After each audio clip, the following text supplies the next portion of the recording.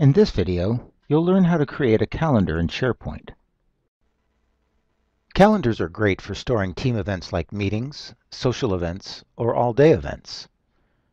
You can also use calendars to track team milestones such as deadlines or product release dates. Let's go ahead and create a calendar on our sales team site. Now there are two basic steps in adding a calendar or any other app onto a site. What is a SharePoint app? SharePoint apps are small-scale standalone programs that address a specific end-user need. The first step is to add the calendar as an app to the site. To do this, go to the Settings menu and select Add an App. Now look for and select the Calendar app. Click Advanced Options to set up the calendar in order to share team members' schedules.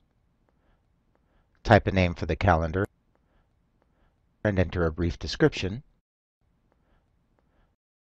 Select Yes here so that the calendar can be used to share and track the events and schedules of coworkers.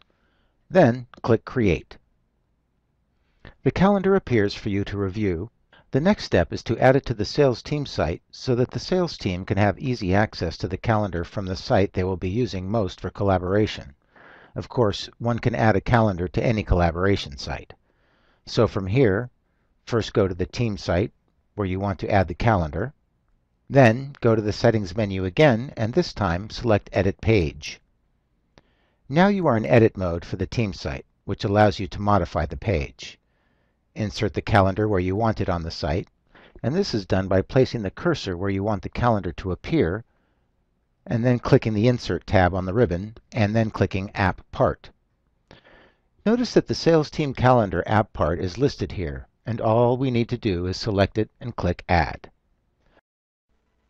The team calendar appears where we want it, so I click Save on the Format Text tab of the ribbon. The calendar is now part of the team site.